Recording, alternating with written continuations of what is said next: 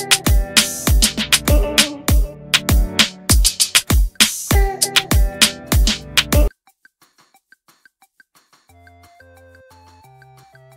ีสะเกตโชว์เก่าชนะคะแนนนักชกจีนที่เวทีแม็กมวยไทยสีสะเกตนครหลวงโปรโมชั่นอดีตแชมป์สองสมัยคืนสังเวียนโชว์ความเก่าด้วยการเอาชนะคะแนนยูนนานนักชกชาวจีน 3-0 เสียงที่เวทีแม็กมวยไทย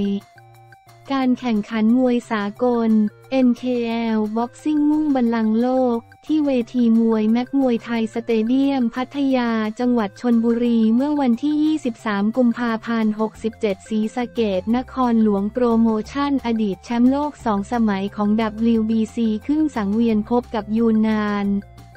นักชกชาวจีนชกในพิกัด 118 ปอนด์ 6 ยกผลการชกปรากฏว่าสีสเกตในวัน 37 ปีพยายามเดินเข้าหาตั้งแต่ยกแรก ขณะที่ยูนนานนักชกจีนถอยดักจังหวะสองได้อย่างยอดเยี่ยม การชกเข้าสู่ยกสุดท้ายเป็นนักชกจีน เป็นฝ่ายเร่งเดินเข้าทำบ้าง ก่อนจะรัวหมัดใส่สีสะเกต เป็นชุดๆ กระทั่งมีแผลแตกที่ศีรษะของสีสะเกต ครบ 6 ยกผู้ตัดสิน 3 ยกชูมือให้สีสะเกต นครหลวงโปรโมชั่น เป็นฝ่ายชนะคะแนนเอกฉันท์3-0 เสียง 59-55 59ถึง57 และ 59ถึง55 ขณะที่คู่เอกนำรายการเป็นการชิงแชมป์ WBC เอเชียเฉพาะการรุ่นไลเวท 135 ปอนด์สถาพรสะอาดนักชกชาวไทยขึ้นสังเวียนพบกับห่วงเพิงนักชกชาวจีนกำหนเชคสิบยกผลปรากฏว่าสถาพรเดินหน้าปล่อยหมัดเข้าเป้าได้อย่างชัดเจน ครบสิบยกกรรมการชูมือให้สถาพรสะอาดเป็นฝ่ายชนะคะแนน 2 ต่อ 1 เสียงคว้าเข็มขัดแชมป์มาครองได้สำเร็จ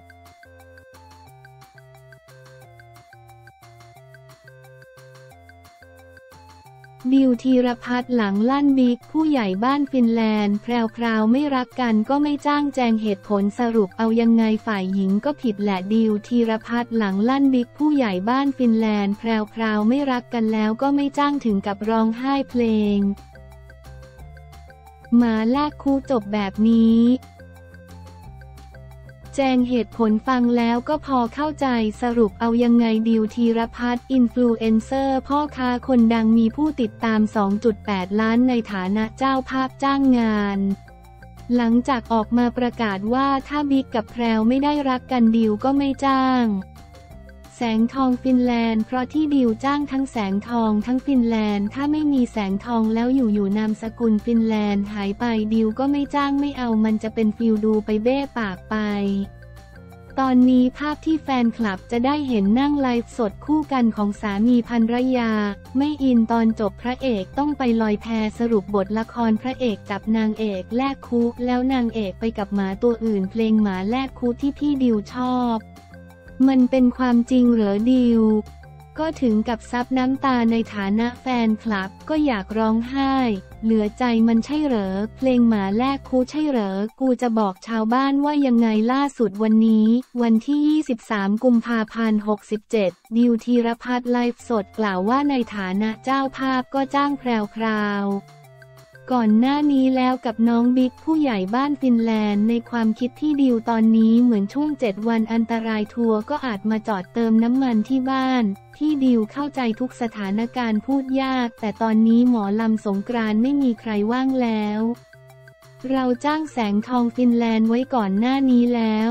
วันที่ 15 เมษายน ตอนนี้ทัวร์มาลงที่ดิวว่าทำไมไปเสือกเขาพูดในฐานะเจ้าภาพคนล้มไม่อยากเหยียบซ้ำให้จมดิน คนด่าแพรวๆคนอย่างที่ดิว ก็ไม่อยากประกาศฟ้าลั่นยกเลิกงาน แต่พี่มีเหตุผลของที่ชาวบ้านมาถามจะเอายังไงพี่ดิวพูดตรงๆฐานะรู้จักและจ้างงานปีที่แล้ว ที่ support น้องบิ๊กเขาก็ไม่ได้ทำอะไรพี่จะจ้างคนละวันมาก็ได้ แต่คนเลิกกันแล้ว ไม่มีใจกันไปแล้วสปิริตศิลปินทำงานกันได้ แต่มองมุมลึกคนที่ดูจะสนุกไหม มันก็บ่ม่วนพี่น้องก่อนจะสรุปเรื่องราวว่าพี่ดิวสรุปวันที่ 15 เมษายนก็ยังจ้างแสงทองฟินแลนด์ พูดจากใจคนเจอเรื่องราวแบบนี้คนไปด่าก็หนักแล้ว จะแบนแพรวๆสำหรับที่คนเราจะไม่ให้โอกาสเหรอแพรวๆก็ผิดนั่นแหละที่ดิวเป็นอินฟลูเอนเซอร์ถ้าพี่โพสต์ยกเลิกงาน ก็จะไปกระทบน้องๆทีมงานในวงแสงทองฟินแลนด์เป็นร้อยคนด้วย แพรวๆแสงทอง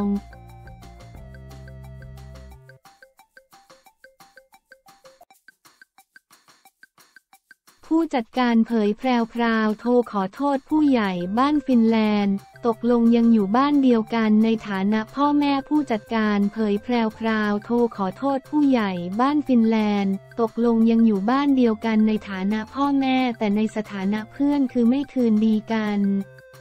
ขอให้เป็นเรื่องของอนาคตหลังเป็นกระแสร้อนแรงเมื่อบิ๊กผู้ใหญ่บ้านฟินแลนด์ออกมาทั้งโพสต์ช็อกและไลฟ์ระเบิดความอัดอั้นตันใจ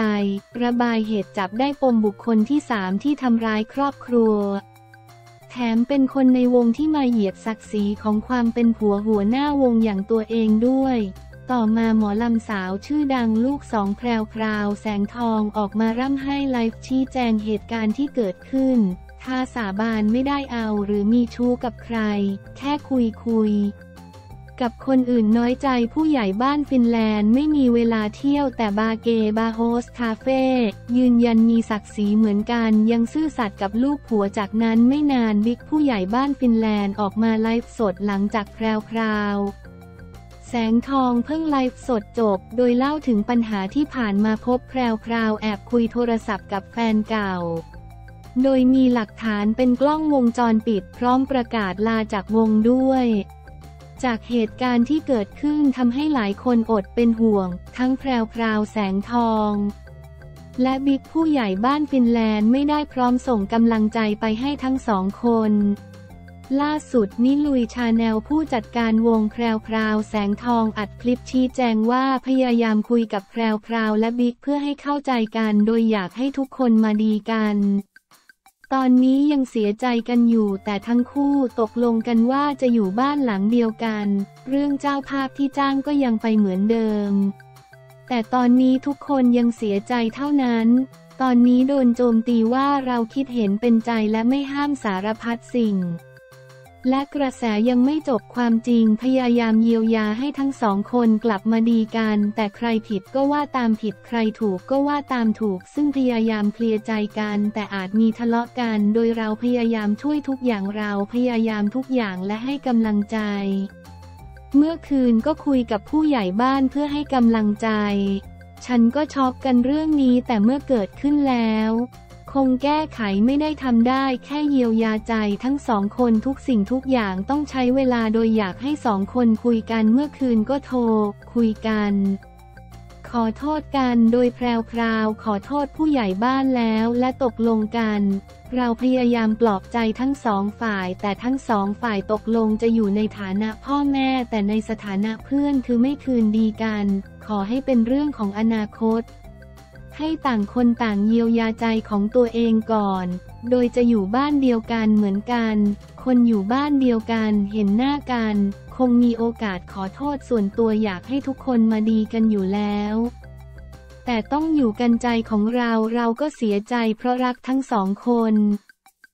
อ่านข่าวดิวธีรพัฒน์หลังลั่นบิ๊กผู้ใหญ่บ้านฟินแลนด์ แพรวๆไม่รักกันก็ไม่จ้างแจงเหตุผลสรุปเอายังไงอ่านข่าวโซเชียลเปิดวาบวุฒิมือมิกซ์เสียงแสงทองฟินแลนด์ ดังซะละคนเข้าไปติดตามรัวๆอ่านข่าว ผู้ใหญ่บ้านฟินแลนด์ตอบคำถามเป็นเกย์ไหมถูกถามประจำฟังแล้วพีค